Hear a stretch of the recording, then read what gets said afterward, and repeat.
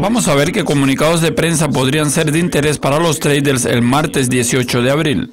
Los permisos de construcción de Estados Unidos de marzo saldrán a las 2 y 30. Los permisos cayeron en febrero tras haber alcanzado un máximo de 20 meses en enero. La producción industrial de Estados Unidos de marzo sigue a las 11 y 15. La producción industrial se mantuvo sin cambios en febrero, pues la producción manufacturera invirtió una caída de la minería y de los servicios públicos.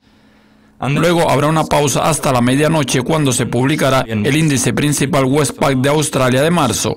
El índice cayó en febrero, pero se mantiene por encima de su promedio a largo plazo. Soy Jack Everett y este fue el calendario económico del martes. Volveremos con el próximo resumen de los comunicados de prensa del miércoles. Adiós.